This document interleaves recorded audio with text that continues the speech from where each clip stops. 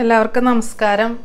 ഞാൻ ഇന്ന് മത്തി വെച്ചിട്ടൊരു കറിയാണ് ചെയ്യാൻ പോകുന്നത്. അതിന് വേണ്ടിയിട്ട് ഇവിടെ ഒരു അര കിലോ മത്തി നന്നായിട്ട് ക്ലീൻ ചെയ്തെടുത്ത് വരഞ്ഞൊക്കെ വെച്ചിട്ടുണ്ട്.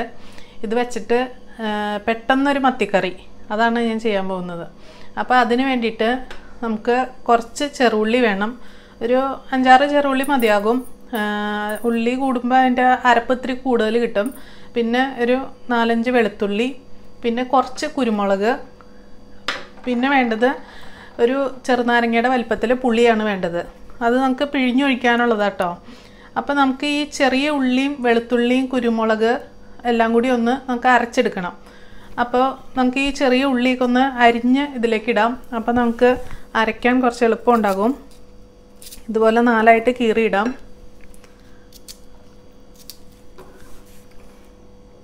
ഇതിലേക്ക് ഞാൻ ചെറിയ ഉള്ളിയും വെളുത്തുള്ളിയും അരിഞ്ഞിട്ടിട്ടുണ്ട്. ഇനി നമുക്ക് ഈ കുരുമുളകും കൂടിയും ഇതിലേക്ക് ചേർക്കാം. പിന്നെ വേണ്ടത് കുറച്ച് മഞ്ഞൾപ്പൊടിയാണ് ഒരു അര ടീസ്പൂൺ മഞ്ഞൾപ്പൊടി ഇട്ട് കൊടുക്കാം. പിന്നെ വേണ്ടത് ഒരു രണ്ട് ടീസ്പൂൺ മുളക് പൊടിയാണ്. അത് നല്ല മുളക് പൊടിയാണ് കേട്ടോ ഇട്ട് കൊടുക്കാനായിട്ട്. എരിവ് ആവശ്യമുള്ളവർ കൂടുതൽ ചേർക്കാം കേട്ടോ പിന്നെ കുരുമുളക് ചേർത്തിട്ടുണ്ട്. പിന്നെ ആവശ്യത്തിന് ഉപ്പ്. ഉപ്പും കൂടി അതിലേക്ക് ഇട്ട് കൊടുക്കുക. എന്നിട്ട് നമുക്ക് ഇതെല്ലാം കൂടി ഒന്ന് നന്നായിട്ട് മിക്സിയിൽ അരച്ചെടുക്കണം. അങ്ങനെ ഉള്ളിയും വെളുത്തുള്ളിയൊക്കെ നന്നായിട്ട് അരച്ചെടുത്തിട്ടുണ്ട്. നമുക്ക് ഇനി ഈ അരപ്പ് നമുക്ക് ഈ മീനിലേക്ക് നന്നായിട്ട് പരട്ടി കൊടുക്കണം. കൈകൊണ്ട് തന്നെ നന്നായിട്ട് മീനിലെല്ലാത്തേക്കും ആവാൻ പാകത്തിന് നന്നായിട്ട് പരട്ടി കൊടുക്കുക.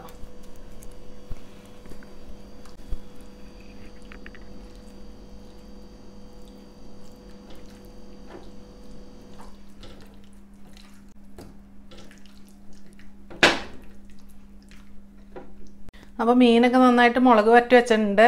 ഇനി ഇത് നമുക്ക് ഉണ്ടാക്കാൻ തുടങ്ങാം. അപ്പോൾ ഇത് ഉണ്ടാക്കുന്ന എങ്ങനെയാണെന്ന് വെച്ചാൽ ഈ സാധാരണ നമ്മൾ മീൻകറി വെക്കുന്നത് മീൻ ചട്ടിയിലൊക്കെയാണല്ലോ. പക്ഷെ ഞാൻ ഇതിവിടെ ചെയ്യാൻ പോകുന്നത് കുക്കറിലാണ് ചെയ്യാൻ പോകുന്നത്. അപ്പോൾ ഇതിൽ കുക്കറിൽ വെക്കുന്ന ഒരു മീൻകറിയാണ് ശരിക്കും. അപ്പോൾ നമുക്കത് എങ്ങനെയാണ് ചെയ്യുന്നതെന്ന് നോക്കാം. അപ്പോൾ ഞാൻ കുക്കർ അടപ്പത്ത് വെച്ചിട്ടുണ്ട്. അപ്പോൾ ഈ കുക്കറിലേക്ക് ഞാൻ കുറച്ച് വെളിച്ചെണ്ണ ഒഴിച്ചു കൊടുക്കുകയാണ് ഏകദേശം ഒരു രണ്ട് ടീസ്പൂണിനടുത്ത് വെളിച്ചെണ്ണ ഉണ്ട് കേട്ടോ അതിൽ ഒഴിച്ചേക്കണത്. എന്നിട്ട് അതിലേക്ക് ഒരു കാൽ ടീസ്പൂണോളം ഉലുവയുടെ പൊടി ഇട്ട് കൊടുക്കുകയാണ് ഉലുവയുടെ പൊടി വെളിച്ചെണ്ണയിലേക്ക് ഇടുമ്പോൾ ഒരു പ്രത്യേക സ്മെല്ലാട്ടോ. അതിനുശേഷം അതിലേക്ക് കുറച്ച് കരിവേപ്പില. കരിവേപ്പില നന്നായിട്ട് തന്നെ ഇടണം. നിരത്തി ഇട്ട് കൊടുക്കണം.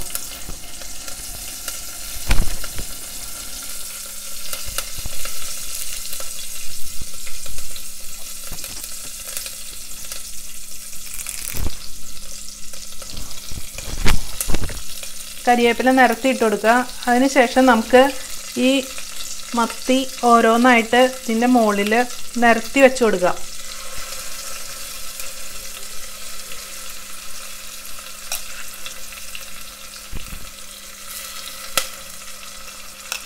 കരിവേപ്പിലയൊക്കെ ഇടുമ്പോൾ മറ്റേ താഴേക്ക് അടിയിലൊന്നും പിടിക്കില്ല. അതിന് വേണ്ടിയിട്ടാണ് കരിവേപ്പില മുകളിൽ ഇങ്ങനെ നിരത്തി വെച്ച് കൊടുക്കണേ.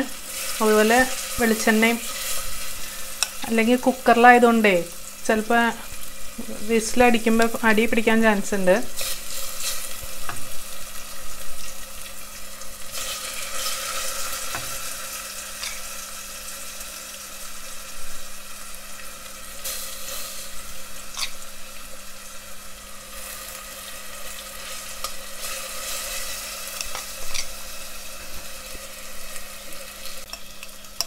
ബാക്കി വരുന്ന അരപ്പും കൂടി അതിന്റെ മുകളിലേക്കൊക്കെ ഇട്ട് കൊടുക്കാം നന്നായിട്ട്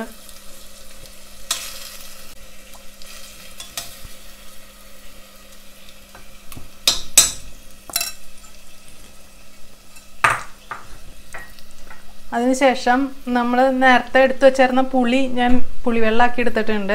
അപ്പോൾ അത് ഇതിന്റെ മുകളിലേക്ക് ഒഴിച്ചു കൊടുക്കാം.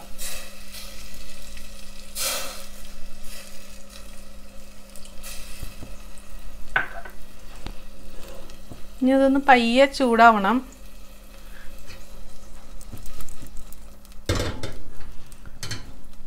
പുളിവെള്ളം ഒന്ന് താഴേക്ക് ഇറങ്ങി പോകാൻ വേണ്ടിയിട്ടാണ് പയ്യെ ഇങ്ങനെ ഇളക്കി കൊടുത്തത് തവിയൊന്നും തൊടേണ്ട ആവശ്യമില്ല കേട്ടോ. അപ്പോൾ മീഡിയം ഫ്ലെയിമിലാട്ടോ ഞാൻ വെച്ചേക്കുന്നത് ഇനിയിപ്പോൾ അതൊന്ന് തിളച്ച് തുടങ്ങുമ്പോൾ നമുക്ക് കുക്കർ അടച്ചു കൊടുക്കാം. ശേഷം രണ്ട് വിസിൽ കേൾക്കുമ്പോൾ ഓഫ് ചെയ്യാം. അപ്പോഴേക്കും നമ്മുടെ കറി റെഡി ആയിട്ടുണ്ടാവും. അപ്പോൾ ഇത് തിളച്ച് തുടങ്ങിയിട്ടുണ്ട്. അപ്പം ഞാൻ കുക്കർ അടയ്ക്കാൻ പോവാട്ടോ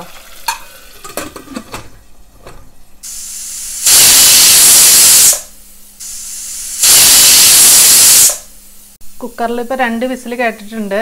അപ്പോൾ ഞാൻ തീ ഓഫ് ചെയ്തു. ഇനി ഇതിന്റെ ആവി പോയി കഴിയുമ്പോൾ നമുക്കിത് തുറന്നു നോക്കാം. കുക്കർ നമ്മൾ തുറന്നു നോക്കാം കേട്ടോ. നമ്മുടെ കറി റെഡി ആയിട്ടുണ്ട്.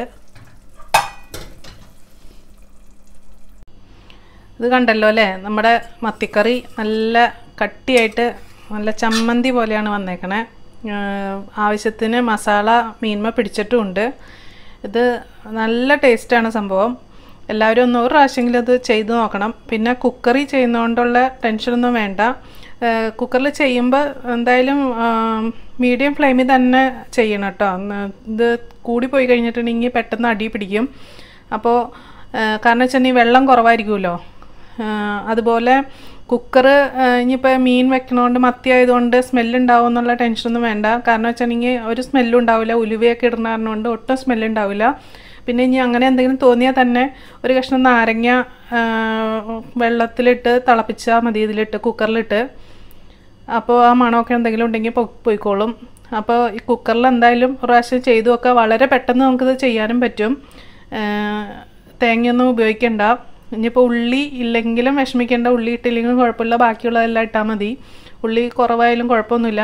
അപ്പോൾ ഉള്ളി കുറയുമ്പോൾ നമുക്ക് ഈ മസാലയുടെ ഇത് കുറയുന്നു മാത്രമേ ഉള്ളൂ. എന്നാലും കരിവേപ്പിലയും ഒക്കെ നന്നായിട്ട് ഇട്ടാൽ മതി.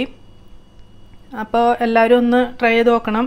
ഇത് എന്റെ മണം നന്നായിട്ട് അടിക്കേണ്ട വായന്ന് നന്നായിട്ട് വെള്ളം വരണ്ട്. അപ്പോൾ ഇതെല്ലാവരും ഒന്ന് ട്രൈ ചെയ്ത് നോക്കുക.